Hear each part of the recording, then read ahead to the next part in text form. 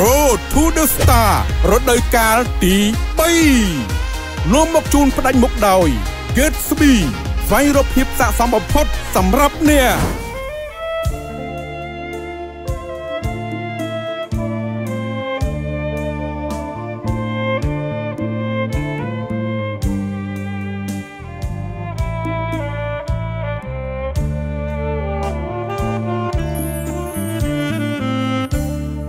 សៀលទុនទៀបរសាប់ចិត្តក្រៃជុំនោនីរដីដូចដងហើមស្រីពេលគេលំហាងរលឹមផ្សាយគ្រូស្រោចស្រពមុនស្នេហ៍ លុនលងលុនលោចម្លែងទេ ដូចអូនបំពេឲ្យកាយអោរាមិនគួរនិមលស្លាប់ចោលបងទៅរលឹកណាស់ពើសងរលោមខ្មៅនៅនឹងនេត្រា រលងសំភួងរលងគុនធាប្រលឹងប្រឡោមចិនដាខំយកសង្ខាបងហើយណាស្រី លីហើយទ្រពធនបុនសង្ឃទាំងឡាយលែងឃ្លានហើយបាយគួងទ្រូងឲ្យធ្លីទៅផ្សំភៀងក្ដីចង់រត់បងហូតឲ្យផុតផើនដីជ្រៀតជ្រែក ពីភពដតីស្វែងរកអីស័យមកជុំជីវ៉ា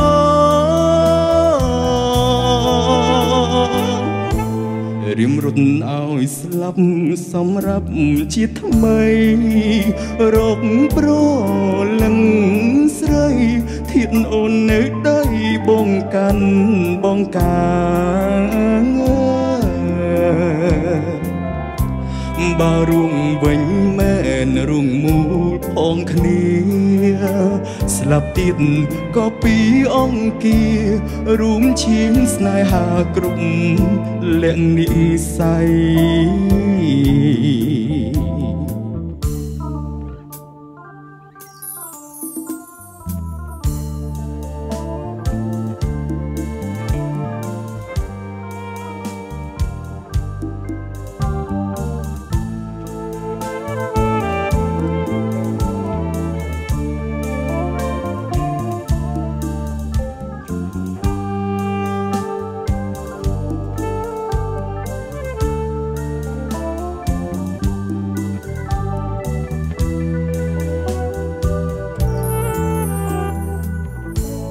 រៀមរត់ឲ្យស្លាប់សម្រាប់ជាថ្មី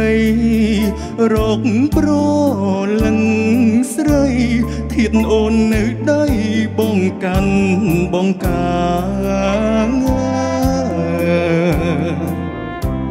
បើរួងវិញមែនរួងមូលផងគ្នាស្លាប់ទៀតក៏ពីអង្គារួមឈាមស្នេហាគ្រប់ លក្ខនិស័យ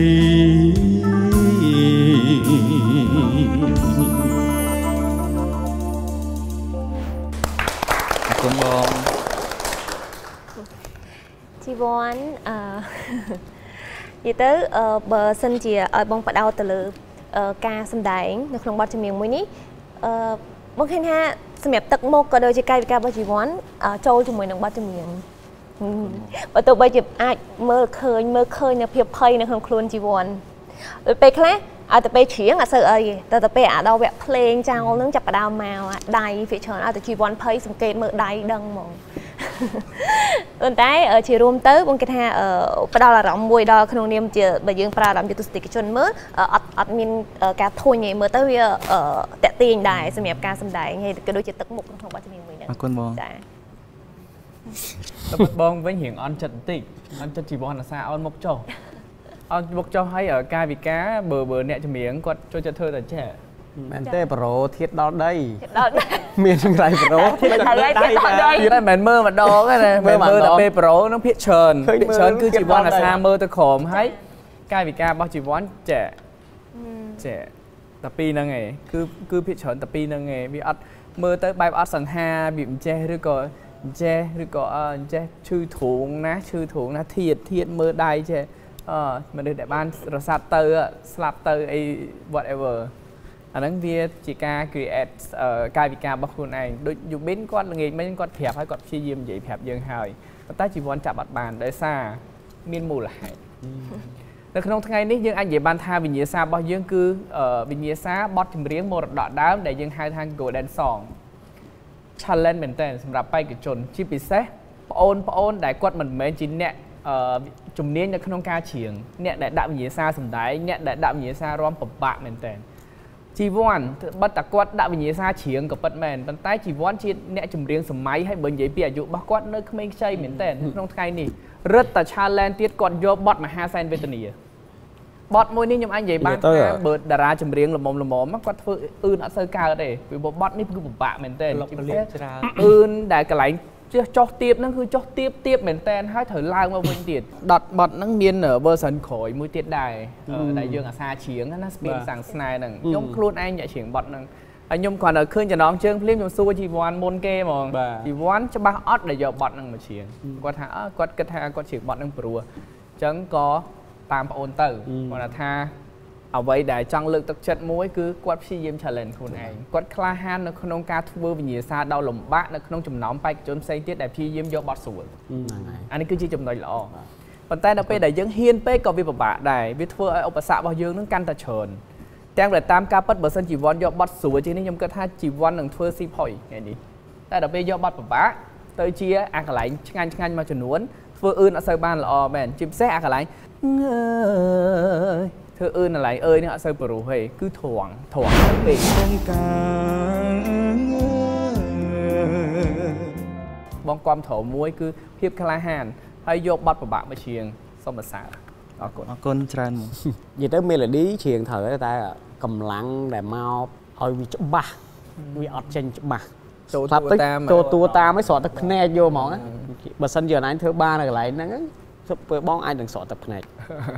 ប៉ុន្តែដល់ពេលយើងវាអត់ដល់កម្រិតរបស់វា គឺបានតែ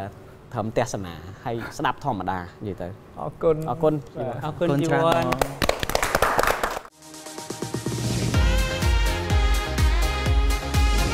Road to the Star រដូវកាលទី3នាំមកជូនផ្ដាច់មុខដោយ Gatsby ស្វែងរកភាពស័ក្តិសមបំផុតសម្រាប់អ្នក